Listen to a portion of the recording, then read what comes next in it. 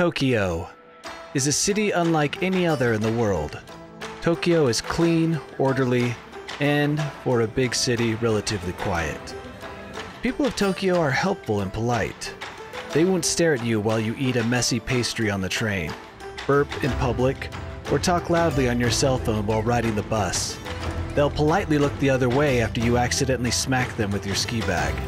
They will ignore your loud conversations about sushi and ramen with your bored looking companions. They won't even roll their eyes as they watch you brashly fumble through the streets of the most populated city in the world. But not everyone visits Japan for the karaoke and neon lights of Tokyo. You see, Japan has a poorly kept secret.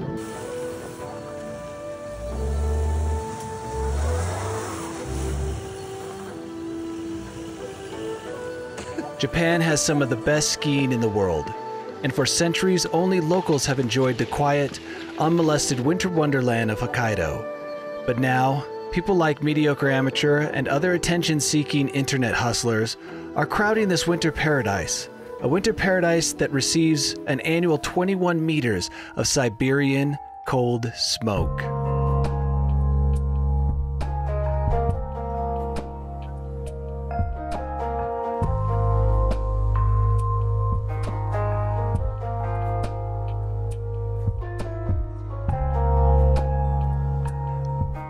Winter months, many foreigners, like mediocre amateur, descend upon the island of Hokkaido.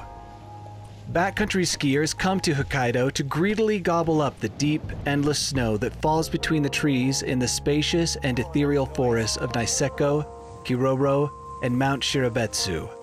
They zigzag their way up majestic, white capped mountains and leave their marks on volcanoes like Yotei.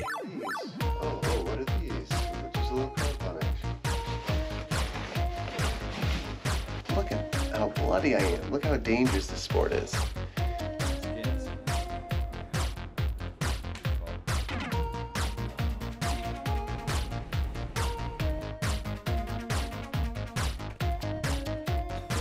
We are at the place where I guess all adventures begin in Japan, and that is 7 Eleven. It's not Maverick. Not Maverick. This is Japan's first stop for adventure. We are going up to ski Mount Yoti today. Yotei. He's Yotei. Yotei. He's visited Japan a lot, so I'll take his uh, word on it. Yotei. We're gonna go ski Yotei. We've been here for three days, but it's been dumping snow nonstop. And this is the first supposedly clear day, according to the weatherman. Uh, but we're hoping to get a summit with some flirty clouds. Um, we've got my interpreter brother in the back. He speaks Japanese, um, but Japanese people don't want to speak Japanese to him. And then we've also got a stranger with us named John, and he's a new addition. I don't know if this is a trial period or what, but we'll be seeing how he performs We needed somebody to break trail. and dig us out if things got nasty.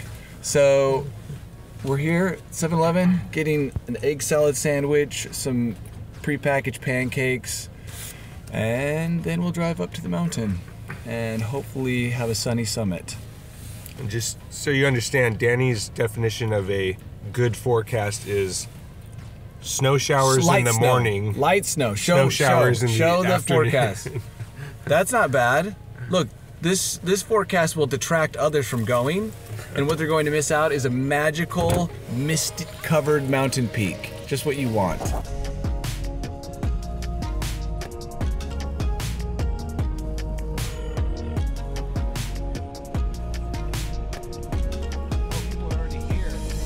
Our plan today is to climb and ski Mount Yotei, a 6,227 foot volcano 20 minutes away from Niseko. We will be starting this adventure just outside of the town of Makkari and ascending up the south slope of the volcano.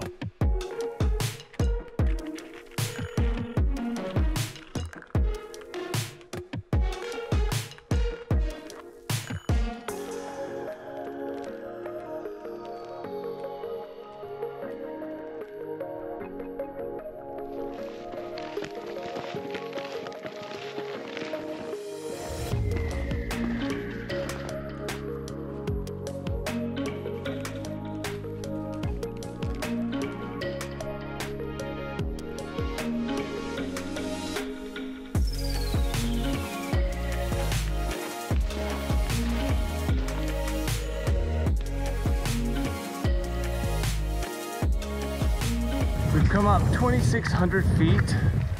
Much of it on a skin track somebody else set. So we're enjoying the hard labors of others. This wind was forecast to be 10 miles an hour. And that's not what I'm hearing up high. Beautiful day. Well, compared to the previous three days. Yesterday, John and I skied uh, the lower section of this trail. It was beautiful. Every day we ski has been a winter wonderland. Snow falling, faces frozen, boogers running at a rapid rate from our nose into our mouth. And now we just want to get up to the top of this mountain and have a view. That's one thing we haven't had. A nice, good old fashioned viewpoint from which to scan this unfamiliar landscape. It's cold though, which is what I would expect from a place at the same latitude as Toronto. One of our biggest concerns today is slab avalanches. The day we got here, the winds were a blustery 80 miles an hour up high. So you can only imagine what kind of damage and danger exists up there.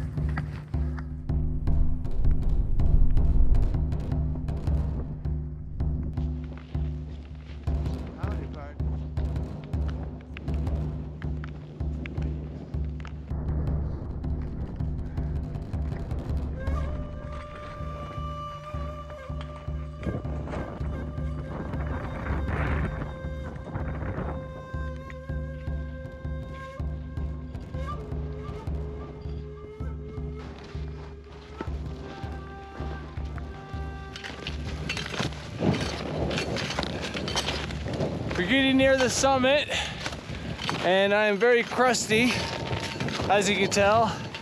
Crinkly, crusty, frozen. But the sun is out, which is nice of nature.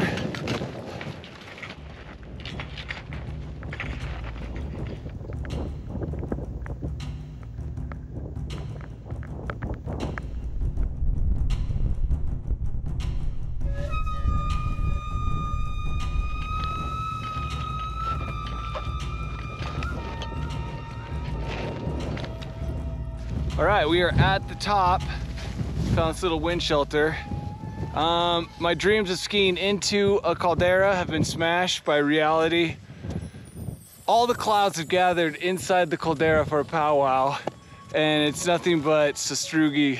So we're just going to rip the skins and ski down Yotei, which surprisingly the snow should be pretty good.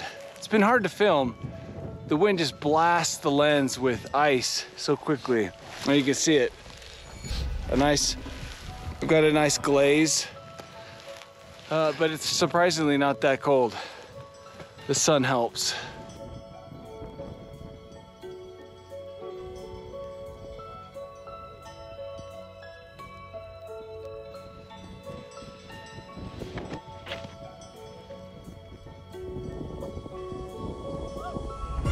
Yeah.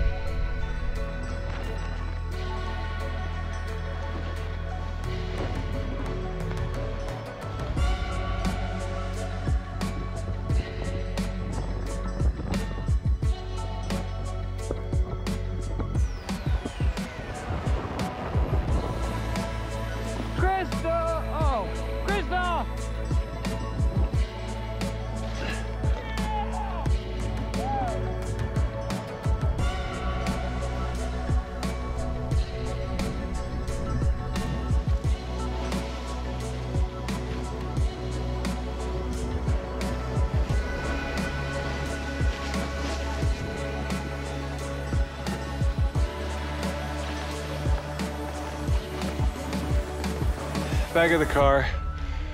Um, you can tell that it was challenging to film because nobody else really shot any video going up. Cool mountain.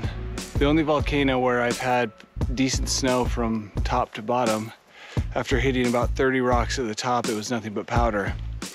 So I'll probably throw these skis in the trash since they've been stripped of all base and edge. That was a crusty day out. I had a lot of freezer burn going on on my coat and stuff. And now, down here at the lower altitudes, I'm turning into a swampy mess. Great volcano. Glad we got to ski it rather than just skiing trees and deep powder every day.